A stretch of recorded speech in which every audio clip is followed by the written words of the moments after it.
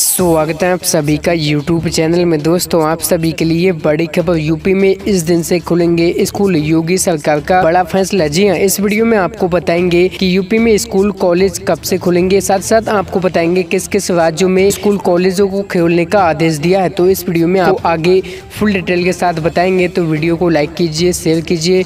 Channel को subscribe करके notification bell को ऑन कर लीजिए। तो चलिए आपको बताते हैं। जी, आपको बताते हैं, उत्तर प्रदेश सरकार ने राज्य में 16 अगस्त से स्कूल खोलने का फैसला किया है। वही कॉल का पालन करते हुए सभी स्कूल खोले। इस बार में मुख्यमंत्री आदित्य योगी के साथ बैठक में फैसला लिया गया। मीडिया रिपोर्ट के मुताबिक शुरुआत में पचास फ़ीसदी बच्चे ही स्कूल जाएँगे, यानी बच्चे के स्कूल जाएँगे। इस बारे में अधिकार घोषणा उप मुख्यमंत्री और शिक्षा मंत्री दिनेश शर्मा करेंगे। आपको बता दें रिपोर्ट के अनुसार स्कूल जाने वाले बच्चों के लिए मास्क पहनना अनिवार्य होगा। इसके लिए पहले अभिभावक को अपनी अनुमति देनी पड़ेगी। वही अभिभावक को या फिर उनके माता पिता की सहमति के बाद ही स्कूल जाएँगे। आपको बता दें, शुरुआत में एक दिन केवल आधे बच्चे ही स्कूल उपस्थित रहेंगे। वैसे तो ऑनलाइन स्कूल के साथ ऑनलाइन क्लासेस भी जारी रहेगी। यहाँ तो सरकार ने यह आदेश किया है कि 16 अगस्त से स्कूल खोले जाएँगे